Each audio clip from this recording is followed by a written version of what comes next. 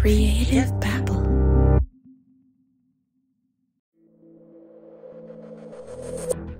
So, John, this is a really interesting case because you have a death of Pravin Varughese, you have a trial, and the jury convicts a person of first degree felony murder.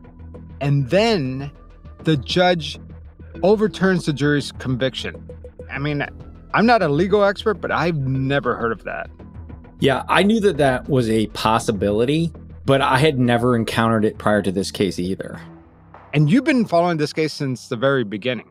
Yeah, I got involved in this case in 2016. I mean, long before there was anything legal going on with this case. And basically, I was just helping Lovely try to understand what was going on and, and analyzing the facts of the case. So by the time that the trial took place and we got a conviction, things changed at that. And the time between when there was a conviction and the sentencing, it just kept dragging on.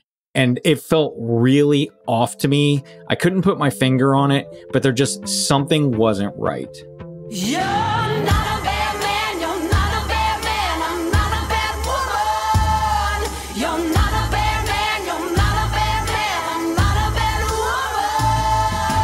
I'm John Taylor with the Twisted Podcast. And I'm Javier Leyva with the Pretend Podcast.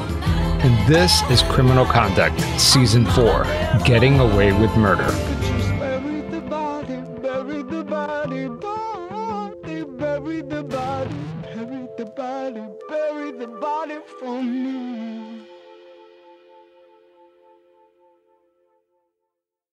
You know, Producing a true crime podcast, especially like criminal conduct, where it involves multiple episodes and you're unraveling this really complicated story, it's a lot like building a puzzle. You start thinking it's one thing and then it unfolds into something else. Well, guess what? Now there is this game that I've been playing with my family called Odd Pieces. It's a jigsaw puzzle but instead of just building a pretty picture or a nice, beautiful scene, you are actually solving a mystery. So each piece you lay down reveals another clue, and you are basically the detective. I'm telling you, this took puzzles to a whole new level. And if you are looking for a cool gift idea, I'm telling you, this one is it go to oddpieces.com slash criminal and use the code criminal at checkout for an exclusive 15% off your entire odd pieces order i'm telling you this is not an ordinary puzzle Ordinary puzzles are boring. Try Mystery Puzzles by Odd Pieces. These puzzles will blow your mind and transport you to a world of endless possibilities. It's like watching a movie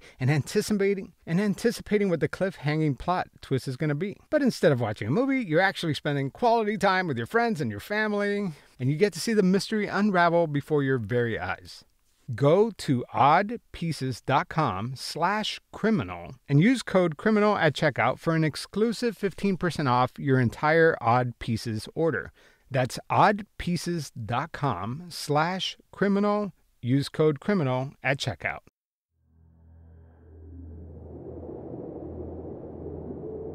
Okay, look at that. What's that? How This wet is it is? soggy. I know. I mean, this is the same time of year that uh, Pravin died, and uh, heading out here, I mean, this just doesn't seem like terrain you would want to transverse at all. Nope. And I, I doubt that it was this wet the night that he died because it was so cold. This could have all been frozen, right? Yeah, I mean, it certainly was not at this level of saturation, but this is definitely difficult terrain.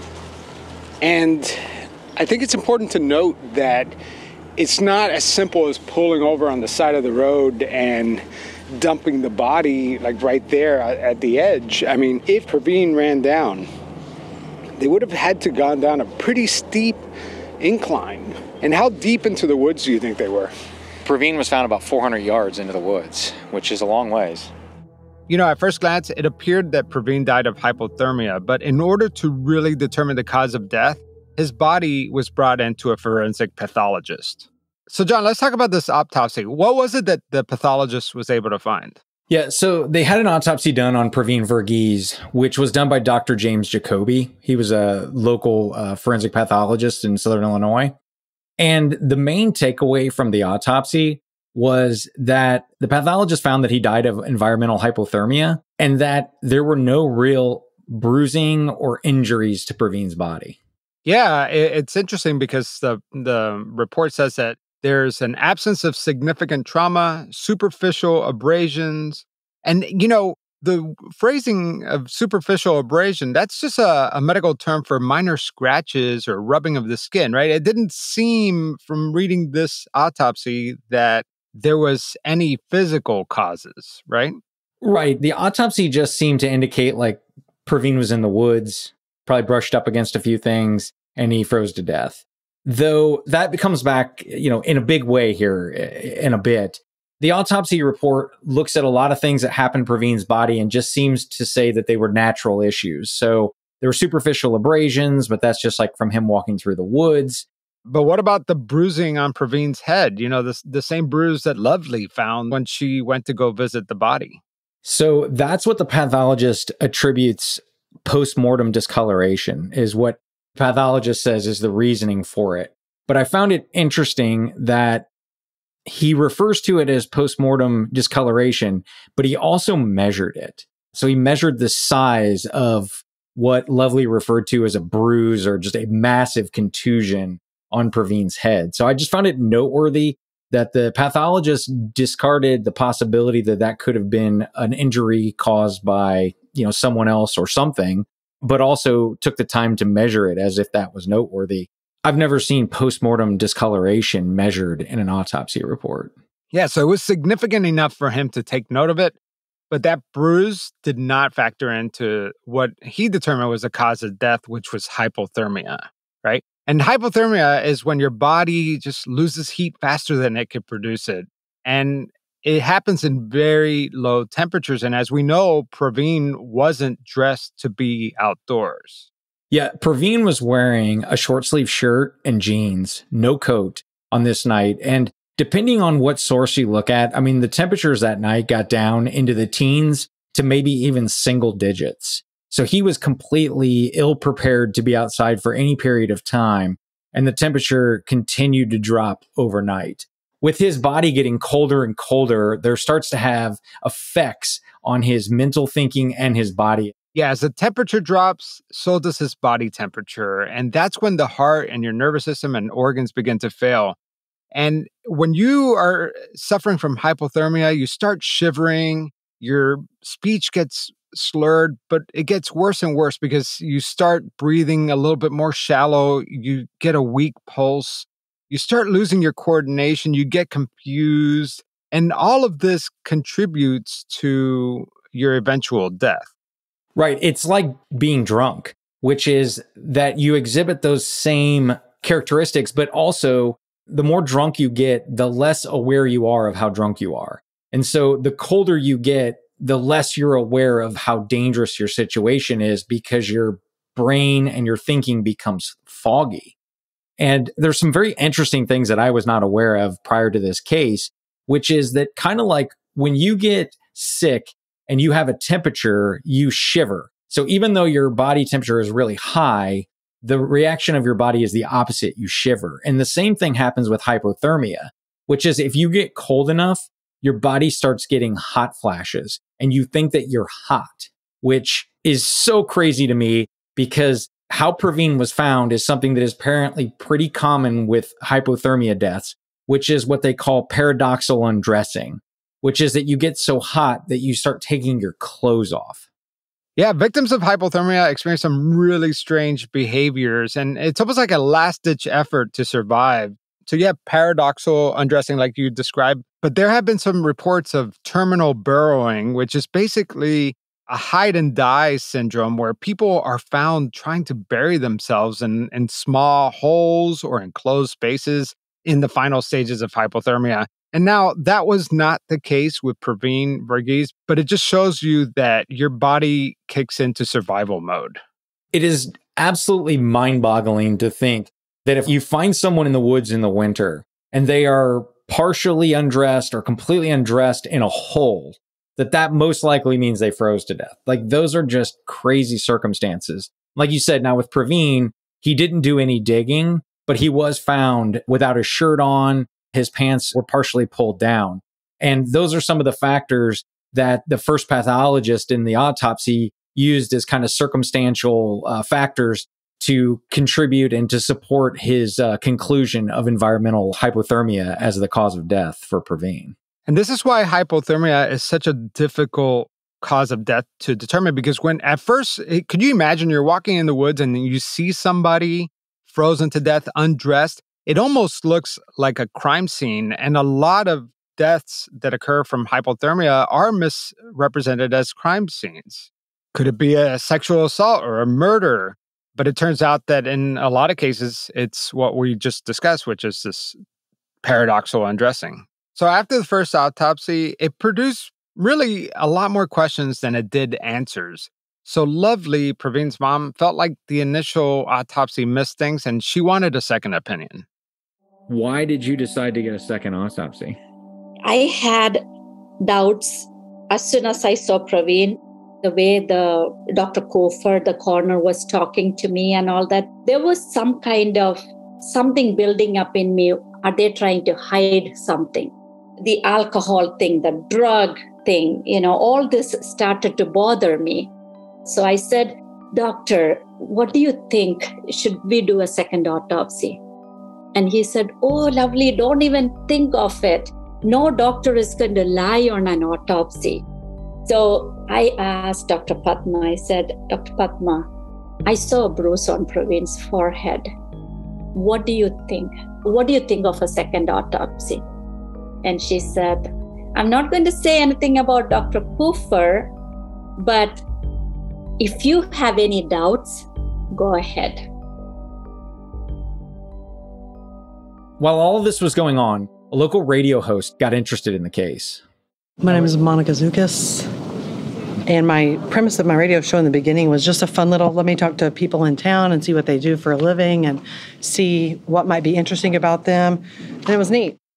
Monica Zukas, she became popular for covering another unsolved death investigation in the area. So when Pravin went missing, she immediately got involved.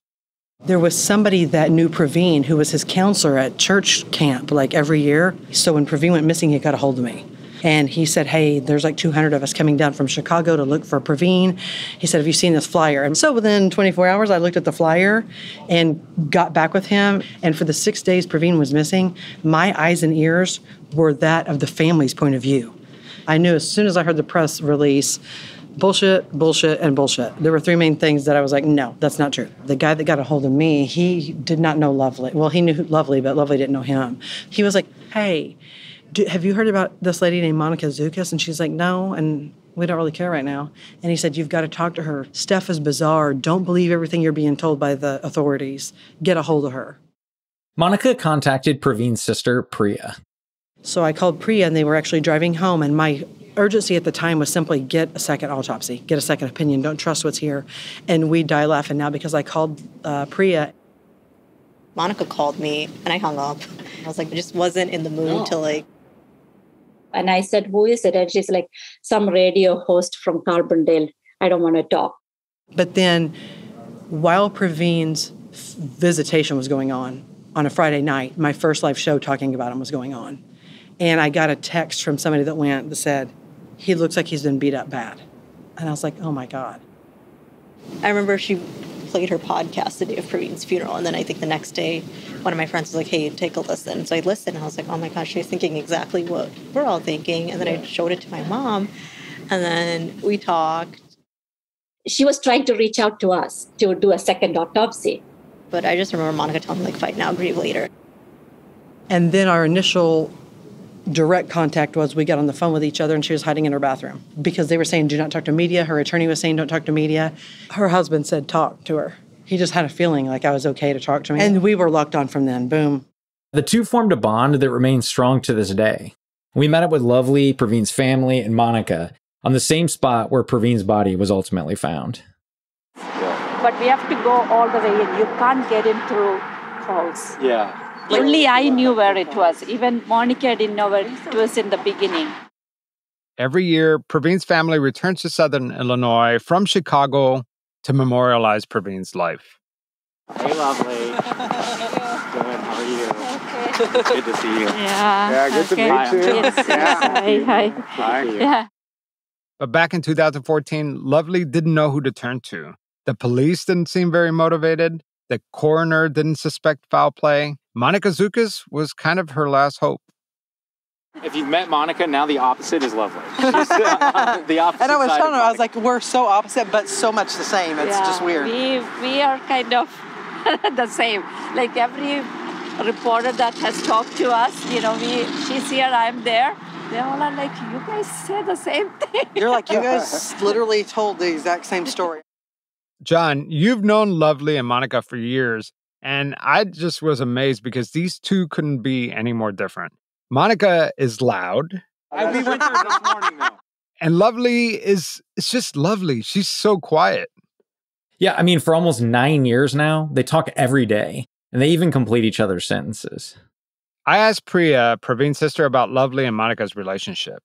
But what an odd couple, Yeah. your mom and Monica. Can you tell I me don't know about what you that? mean. Could you can you tell me a little bit about that dynamic? Interesting. Yeah. It's just like, yeah, there, no, she's, Monica's been our rock for a long time. So it's, I mean, she's part of the family now. So without her, I know this wouldn't be where it is. Yeah. Monica and Lovely didn't know exactly what outcome they were hoping for. They just wanted to move the case forward and find the truth. When you guys first spoke, did you have a plan or you just wanted to talk to her? There was no plan. Make sure you find out everything you can because don't trust what these motherfuckers are saying down here. That's a plan. Yeah. get a second autopsy, get a second autopsy, get a second autopsy Which they did right away. immediately. When you and Lovely first got together, were you guys trying to get document like official documents, or what was your uh, objective once you got the second autopsy? We were so twilight zone in the beginning we were just like what the hell's going on? Like the initial first few months were i'm his mom i saw injuries. I have a second autopsy there's injuries. Why are they saying there's no injuries? What's going on? It was twilight zone. And so, because you guys didn't have anything at that point, so it's like you don't know what you don't know at that point either. You just know what you're being told is not right. and that was by a fluke how that worked out. The autopsy was done at the funeral home because dr margolis had an appointment and then somebody canceled or something so he did it pravin was late for his own visitation in true pravin style Yeah. i'll come when i want And I mean, but that was so critical, right? To get the second autopsy. everything So, John, now we have two autopsies. This second autopsy is an independent autopsy commissioned by the family. It cost them about $10,000. What did they find in the second autopsy? So they hired Dr. Ben Margolis, who was a doctor up in the Chicago area, to do a second autopsy. And what's interesting is one, this is a much more detailed autopsy report than almost any report I've ever seen. And I think that's because he wasn't just doing this as like a county coroner. He was brought in to do a detailed examination of Pravin, and that's what he did. But what was really shocking about this autopsy is that it is almost the polar opposite of what they call the official autopsy, the first autopsy. This doctor found injuries all over Pravin. And most notably, he identified what he called significant blunt force trauma to the head. And he said he thought there were at least three injuries to his head. So you have this first autopsy that just seems to dismiss any kind of injuries. And now you have this second autopsy where he is zeroing in, he is noting injuries on Pravin's legs, his arms, his head, his nose, his hands. He even identified what he believed might have been a defensive wound on his right arm, which he said at the time that it was already healing, which indicates that Pravin was alive for quite some time after sustaining that injury. So here you have, like you said, a polar opposite autopsy. You know, the first autopsy was talking about superficial abrasions, which are like little minor cuts and, and scratches, and postmortem discoloration. And this is finding some blunt force trauma. And really, it looks like Pravin had a lot more physical injuries than than we were led to believe, right? Yeah, and anybody who looked at Pravin after he was dead would clearly see the huge injury on his forehead. And it's just hard to imagine how the first doctor either misattributed it or just, I don't, I can't explain how he did not identify that as a major, major injury to Pravin. So to me, that is the big difference in these two. So, John, what was the cause of death in the second autopsy? So the second autopsy noted also environmental hypothermia. The doctor indicated that it was inferential, which is that he's basing it on the circumstances. And he also noted that he did not know the severity or impact of those injuries on Pravin's death. So he couldn't decide whether the injuries contributed or caused his death, but that he felt environmental hypothermia was the most likely cause, and the manner of death was listed as undetermined. The first one said he has no injuries, that he had post-mortem discoloration, and the second autopsy said that is head trauma. It was everything. Right. It goes from no injuries to blunt force trauma on the head. 100. Yeah. I mean, I went from no injuries to 27 injuries. I mean, bruises to the bone. Every bruise he had on his body was literally to the bone. And they were saying over here, first saying, he's fine. I mean, they labeled him as a female and misspelled his name over here in the first autopsy. I don't give you any credibility. So, what did the toxicology report actually find? So, shockingly, the toxicology report came back with Pravin having no drugs in his system and no alcohol in his system, which that was a shocking turn of events. I think that the second autopsy provided some pretty good clarity into why that was, which is the doctor noted that he felt like Pravin was alive for quite some time in those woods before he died. Because everybody who came into contact with Pravin that night described him somewhere between slightly intoxicated and highly intoxicated. Those were uh, friends, people who knew him well, his cousin, strangers, everyone. And everyone that interacted with him said something about, like, well, his behavior was consistent with when he had been drinking.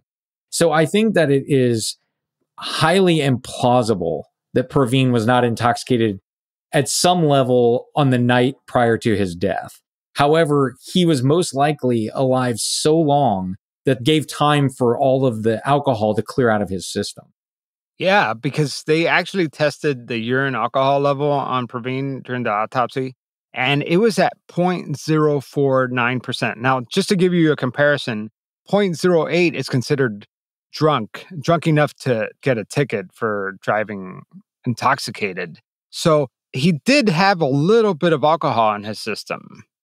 They attribute the alcohol that was in his system to decomposition. So that's not considered alcohol from consumption, it's considered alcohol from him going through the decomposition process. And were there any drugs found in his system? None. So I think that uh, even though I feel that there is a valid explanation for why he has no alcohol in his body and was still drinking. The family has a very strong point here, which is you have a medical data point that says there was no alcohol in Pravin's body. And you can't dispute that. I mean, that's what the toxicology reports say. So I feel like that's a pretty strong data point that really called into question kind of the overall narrative. Though I feel like the narrative is of him being intoxicated at the party is still in effect. It's just this is something that's uh, you know out there that you kind of have to contend with as far as information that comes in. I think for me the most disturbing part is that the fact that he didn't have any measurable amount of alcohol in his body to me like you said suggests that he was out there all night probably alive his body metabolized all that alcohol. I mean, he was probably alive for quite some time. Yeah, I think that the doctor had said many hours to even a day that Pravin could have been alive out there. So, after you get the second autopsy, how did the Carbondale police, how did the medical examiner in Carbondale, how did they react to the second autopsy? Monica was hearing rumors and she called me and she said, Did you hear from Carbondale about Pravin's toxicology? I said, No. I said, But I heard from here he's negative. And the authorities simply dismissed the results of the second autopsy report. The pathologist is no good. He has no credentials. He has nothing. The family paid him to do this. You know, all those stories came up. So they weren't placing any importance on the autopsy that you had done. When we come back, a prosecutor reviews the case, but things don't go the way you'd expect them to.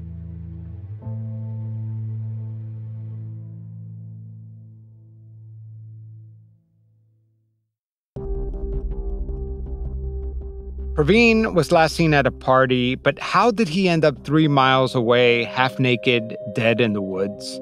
The official autopsy says that Pravin froze to death, that he died of hypothermia. But the family believes that there was foul play. So, how do you resolve this conflict? Yeah, so normally at this point, a district attorney, or in Illinois, they're called a state's attorney, would review the case and kind of make an initial assessment of what's going to be done. Now, Carbondale sits in Jackson County, and at the time, the state's attorney was a man by the name of Mike Carr. So his job as state's attorney is basically to oversee the prosecution of every criminal case for the county.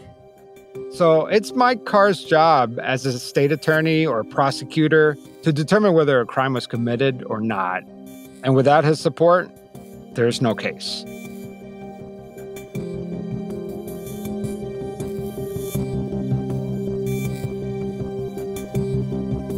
So Monday evening, there was a vigil at SIU arranged by Pravin's friends.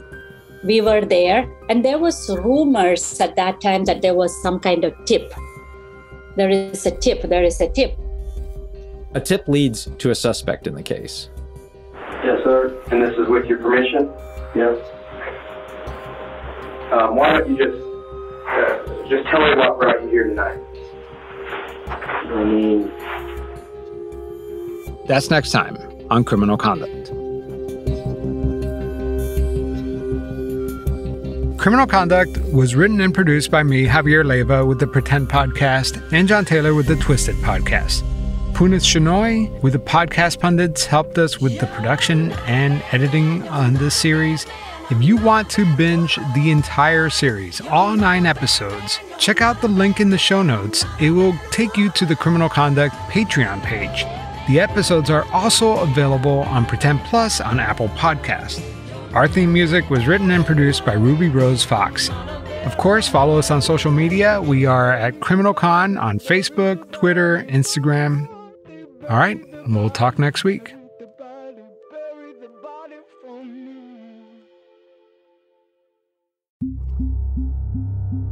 Creative Babble.